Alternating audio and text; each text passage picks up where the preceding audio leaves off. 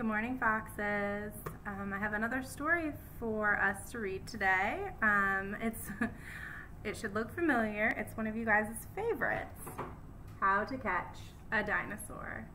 I was able to go to school yesterday for a couple of minutes and I picked up a bunch of our books that we love. So I'm excited to be able to read them to you. And don't worry, Camille and Anna.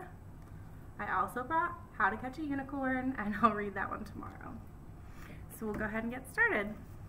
How to Catch a Dinosaur by Adam Wallace and Andy Elkerton.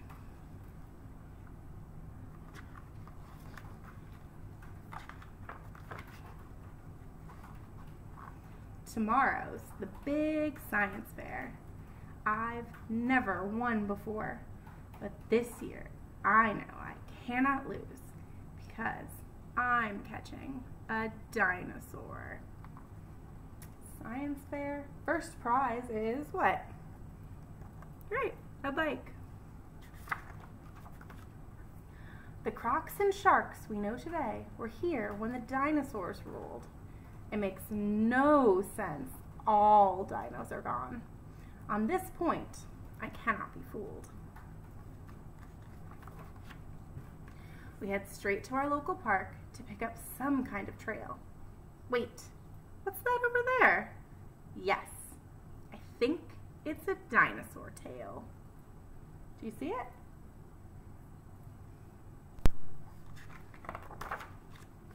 The dino is more bird than reptile. We learned in science class that's true. And this one left something behind. I've got our first dinosaur clue.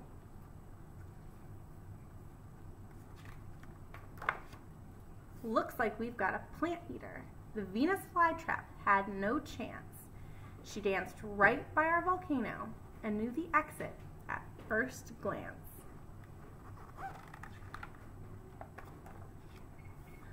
The, this clever girl runs fast as the wind and dodged our trap in a hurry. But we've got more in store for her, so this is no time to worry. My Goodness, do you think they'll catch her? Oh.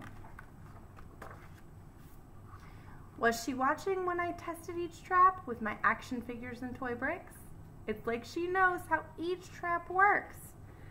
Can it be? She's onto my tricks.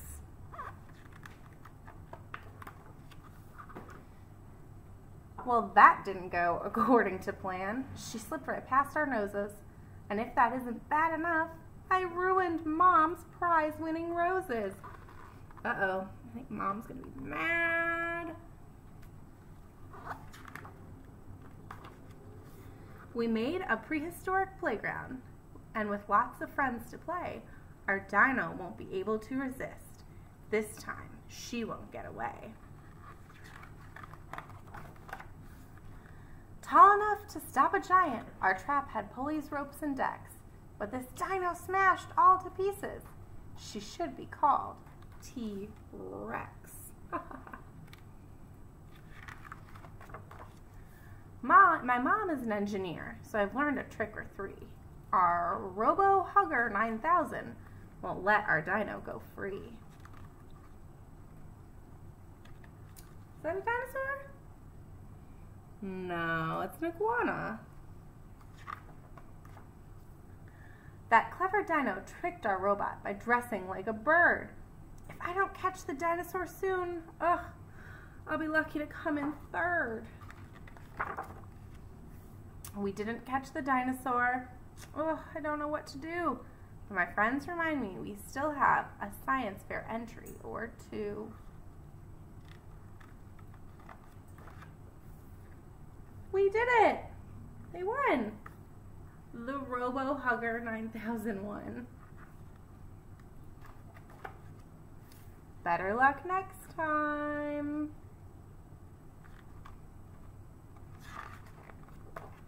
The end. Alright guys, I hope you enjoyed that and I'll be back tomorrow with how to catch a unicorn. I'll see you guys then.